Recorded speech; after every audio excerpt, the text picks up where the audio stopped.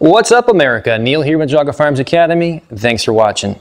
Today I'm going to talk about a product that I generally shy away from. I'm going to have to eat a little crow today because I talk uh, not highly of these types of products, but this one is a winner. So let's get started.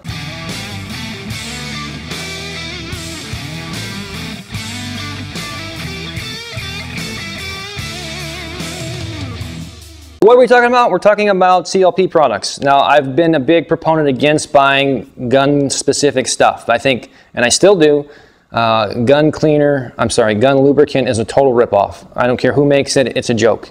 Uh, you buy a little bottle of oil that's, I mean, you, you say it's three, or four dollars, but there's only an ounce or two in there. So when you think about it, a whole quart of that would cost you, you know, $200. That's insane. And it is not any better than the oils that you typically buy for your vehicle. You could go buy a whole quart of high performance racing oil, which I typically recommend people do, or what I usually used to use, which is grease. Okay, I like grease because it stays where, where I put it and all that kind of good jazz. Now, when it came to cleaning products, I just used basic Hoppe's. Uh, you could find it anywhere. It wasn't a big deal. Did the job okay, and that was that.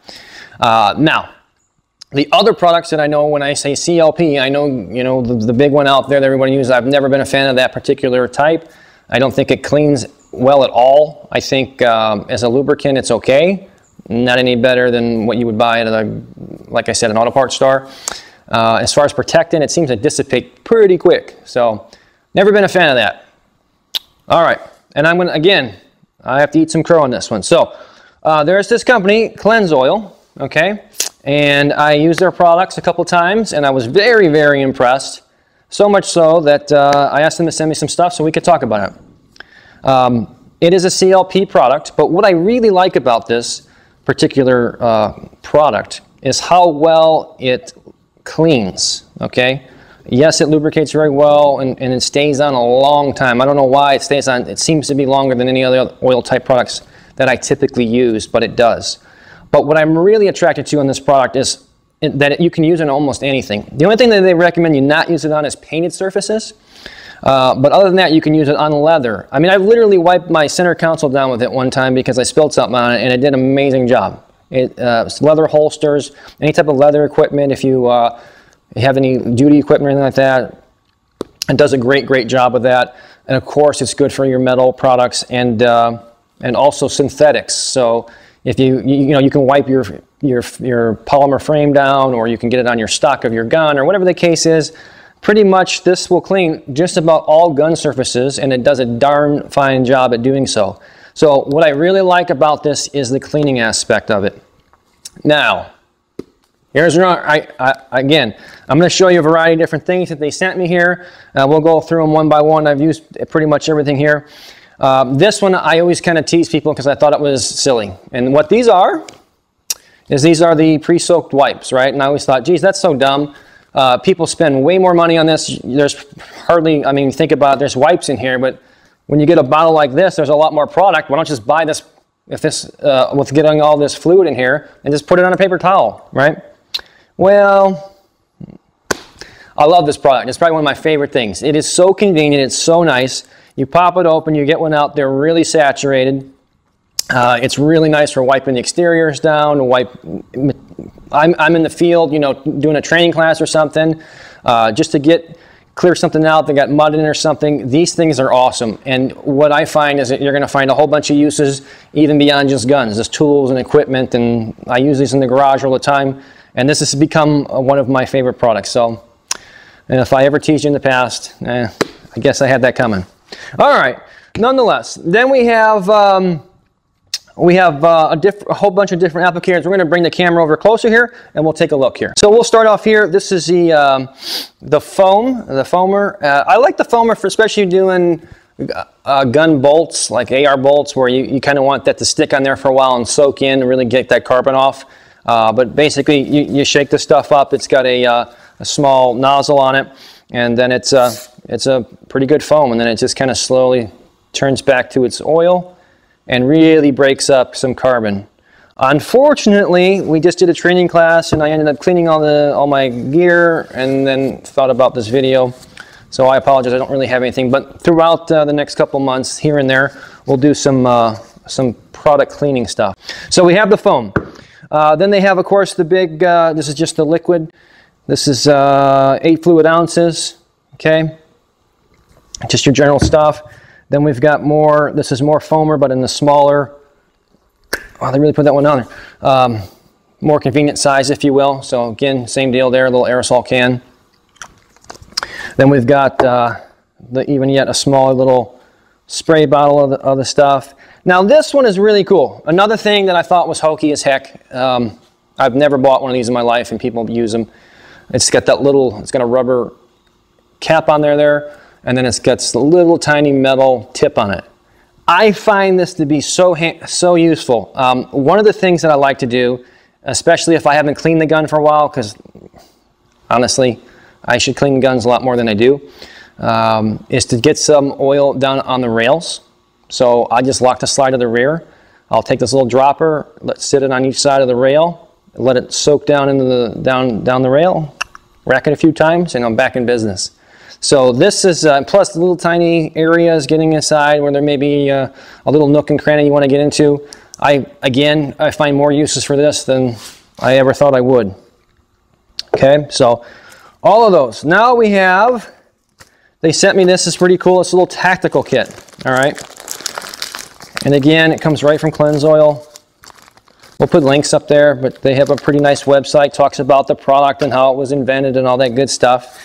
Um, so I'm not going to bore you with that. You can check it out on your own. There's, there's lots of good information on why it does what it does. But this is kind of cool. On the back here, it's got legit molly, uh, MOLLE straps here. It's got um, side Velcro, so you can pretty much attach this guy in any configuration, any type of gear bag that, you, that you'd want. It even has a patch here for a name or, or whatever you'd like.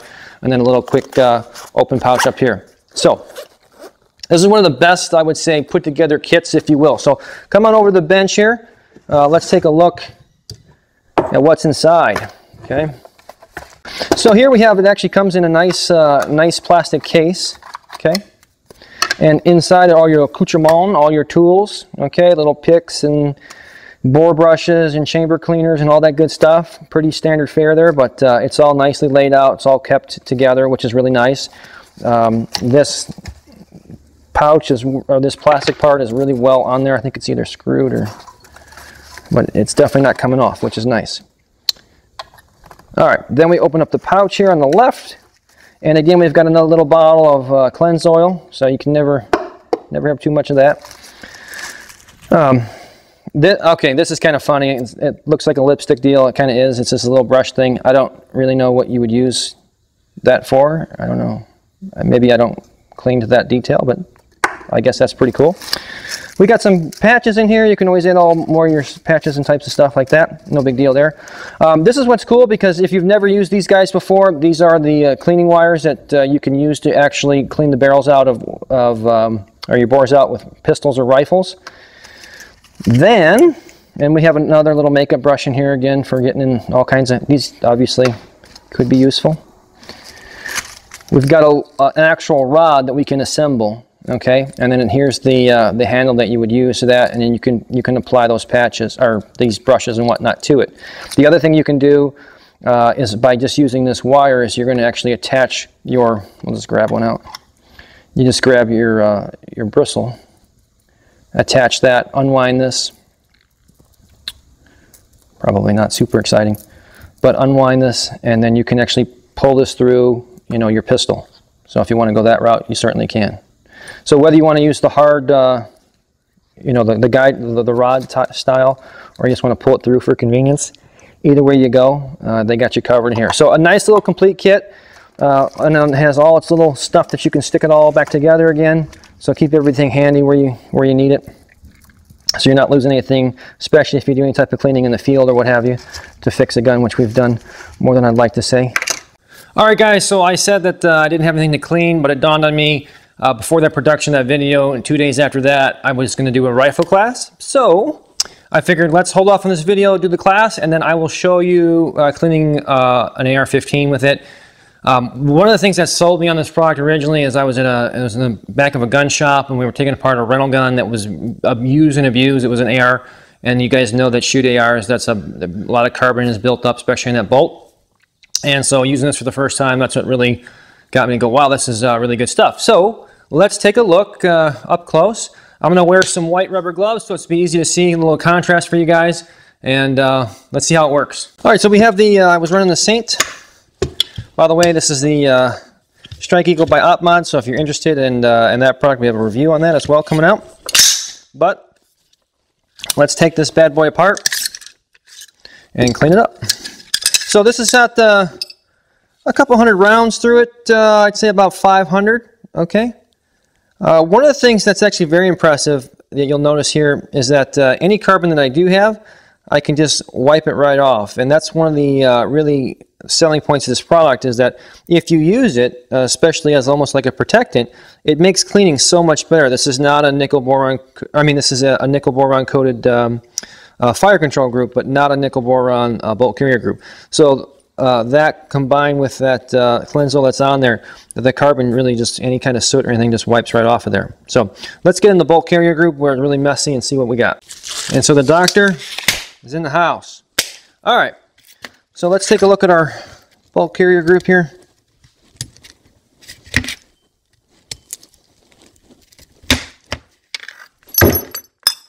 There is our firing pin. So not too terribly bad, but uh, you can see just by uh, all the water and the, the Clenzoil, this was a really wet, rainy class. And so I was very impressed to see how much that that Clenzoil just stayed kind of to the to the steel itself. You can just see this is just basically wiping off. It's it's pretty uh, pretty incredible. Pretty impressed with that. Well, let's keep uh, let's keep going here. All right, let's see what we got here. So the main culprit for ARs, as you guys know, right in here. So let's uh, let's start to uh, let's use the foamer. So shake this up a little bit here. And we'll use the foamer and just let it sit on there. Coat this whole thing. Why not? Okay. Uh, since we already got our charging handle, let's throw some on there. Whoops. Okay, let that work in there. Get this uh, firing pin good and coated. Pivot pin.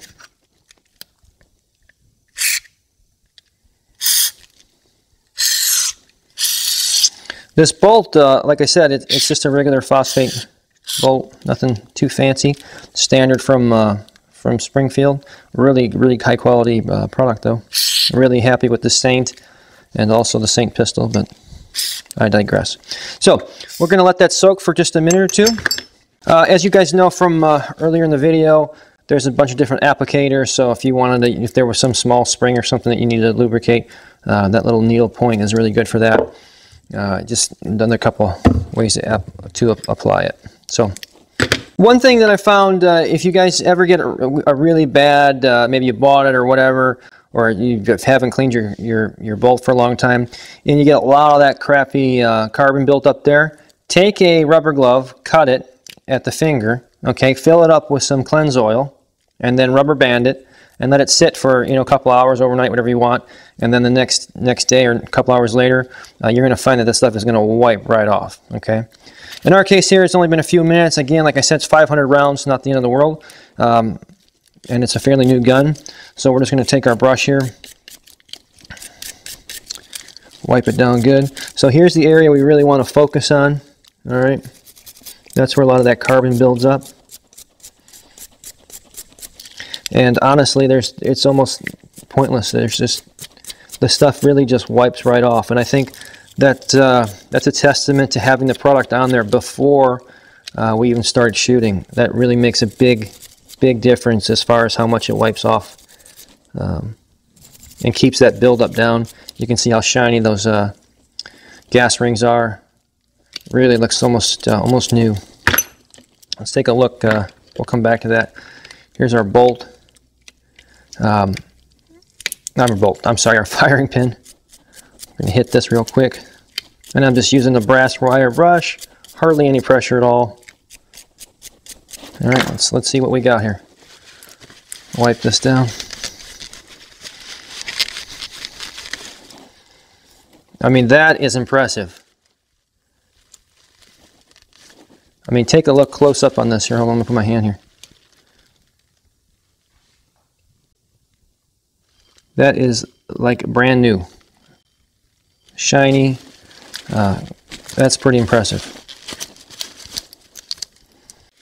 Take a look at this uh, bolt now. And you can see the, the crap, just the crud and the carbon wiping right off. I wish you could feel that because it, it just feels smooth. There's not a lot of that rough carbon buildup on there. Okay. So looks really good. Minimal carbon of any kind on there. I mean, you can see uh, we got the carbon off here. Inside there, that is just clean and shiny. I know the light probably doesn't pick up too well on the camera, but that's uh, that's pretty incredible. Hey guys, one little tip here. I guess this is kind of going beyond just a cleaning video, but one little tip is uh, I don't really lubricate anything inside the trigger mechanism per se. Uh, all we want is a nice dry springs in there. Anywhere we put oils and stuff, it's going to collect carbon, build up no matter whose it is. I don't really get in there. Maybe left you dropped it in salt water or something like that. Uh, but just for regular use, even in the rain, I don't really mess around uh, with the springs too much inside there to keep that clean and dry. Uh, same thing with the buffer tube. I don't really do anything with that as well. All right, so now we got a couple ways we can uh, lubricate this and put this back together. Clenzoil does make a grease, by the way, and I've always been a big fan of grease. Um, maybe we'll I'll get a hold of some of that and give that a try. But so far is what we got. So spray this up, put a little on there. Okay, it just falls into place. This thing is so cleaned and lubed up. We're good to go. Put our pin back in. All right, so we're all back together here. Get a little bit more. I like to get all the rails top and bottom. All right, so we're back together. Running smooth, looks great. Uh, for the finish, by the way, if you want uh, to wipe this down, you can kind of see there's water spots in here. Again, it's been outside in the rain all day. I'm going to take the uh, wipes. I'm not going to show you that, but uh, give it a good wipe down with that and then just dry it off and put a little protective film on there and we are good to go. One experience I've had that I wanted to share is I have an old, uh, it was my father's uh, Vietnam revolver, and so it's an old Smith & Wesson model, whatever, I'm not, I'm not into that. But anyway, it has wooden handles on it, it's, it's very, very nice, a keepsake, and uh, it was getting a little rough on the, on the edges, so to speak, so I soaked that, everything, including the wood, everything down with uh, Clenzoil, and it looks like it's amazing. It's like a brand new gun. It looks amazing. The steel, it's still, it's been six, well, let's say, yeah, about four months. And it's still coated on there. It hasn't dissipated yet. The wood looks amazing. The wood looks like it was refinished. So uh, it, it did a really great job. So if it does a good job on that, and then of course I've used it on all my current guns and all my polymer guns, and I'm very, very pleased. So again, although I've never been a big uh, CLP type of guy or go out and buy gun products, I, I, think this one's a winner because of its cleaning capabilities and it does everything else just as well as any other lubricant or protection out there. So pick yourself up some Clenzoil. You will not be sorry, I promise. Hope you guys found this helpful. You know where to find us, guys. Facebook, Twitter, Patreon gets all our A-team stuff. Instagram. Thank you. Kim helped me out there on Instagram. What else? Am I missing? What? Twitter. Twitter. We're tweeting. We're tweeters now. So Remember, it's always better to be judged by 12 than carried by 6.